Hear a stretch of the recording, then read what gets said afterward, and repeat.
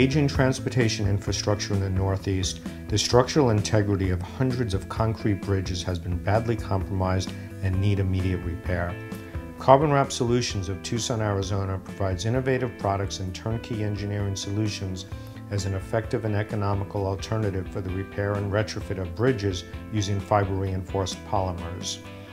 CarbonWrap's fiber reinforced polymers come in the form of woven or stitched fabric that is saturated on premise and bonded to a substrate using a specially formulated structural epoxy.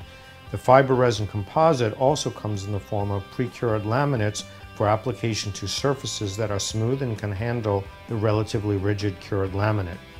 These polymers, with correct application, increase the ductility and strength of concrete structures, making them last longer at a fraction of the time and cost of using conventional materials and techniques.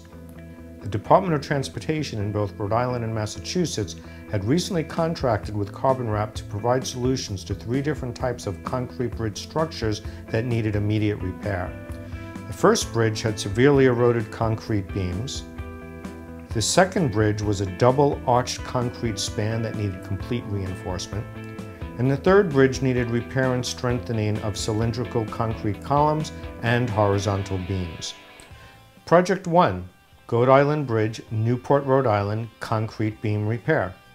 This project included the repair and strengthening of pre-stressed I girders at the four end span structures over the Newport Harbor. The bridge needed emergency repairs due to severe erosion of the concrete beams on the underside of the bridge. This erosion was caused by direct contact with salt water due to the extreme nature of the tides in the Newport Harbor. CarbonWrap determined that the solution for this project was to increase both the flexural and shear strength of the badly eroded concrete beams. For flexural strengthening, the company determined that the underside of the beams would be bonded with pre-cured rigid fiber resin laminate strips and the entire beam would then be wrapped with the carbon wrap flexible fabric. Upon completion of the bridge restoration, a proof load test was performed on each span that was repaired.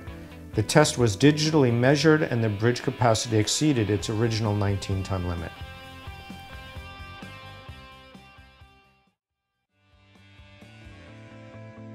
Project 2, Hopkinton Westerly, Rhode Island, double arch span type bridge. Situated in a rural part of Rhode Island and crossing a 75 foot wide river, the structural integrity of this historic double arch bridge was compromised by old age and by the recent massive flooding in 2010. The entire bridge needed complete strengthening, and CarbonWrap determined that they would wrap long laminate strips placed approximately 18 inches apart along the length of the underside of the span.